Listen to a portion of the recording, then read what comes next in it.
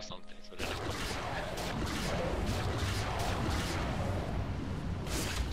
Stop eating!